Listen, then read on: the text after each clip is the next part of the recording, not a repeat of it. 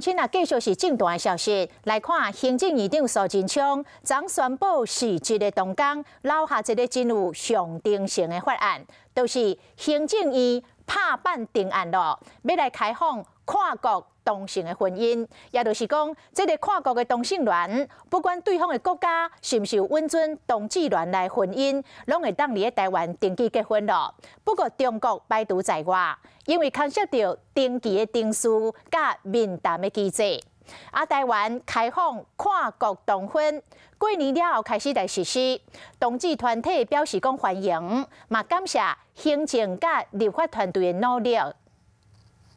二零一九年五月十七。立法院三读通过同婚专法，台湾成为亚洲头一个世界第二十七个实行同性婚姻的国家。抵抗今年五月二十四专法上路，未少同性伴侣赶伫头一天登记结婚。不过专法今日承认嘛通过同婚的国家，三年外以来跨国同志伴侣无法度伫台湾登记结婚。不过，就伫行政院长苏贞昌甲行政院长撕掉的同一天，内政部同意开放跨国同性婚姻。未来除了中国以外，同性伴侣涉及其他外国人、香港、澳门的居民，在台湾龙文村登记结婚。对于行政团队非常的肯定，就是可以能够呃让跨国伴侣获得法律上的支持。根据平面媒体报道，这次行政院长苏贞昌十九号决定定案，立即进前甲同婚专法跨国婚姻这部分保护者。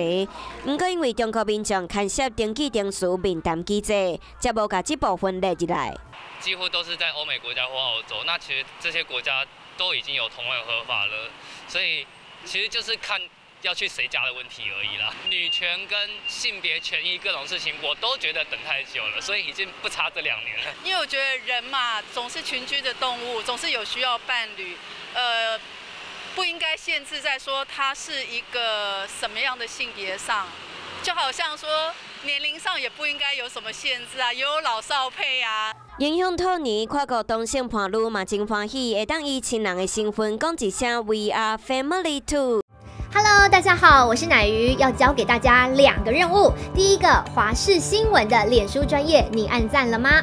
还有华视新闻的 YouTube 频道，赶紧订阅起来，还要记得按赞，开启小铃铛哦。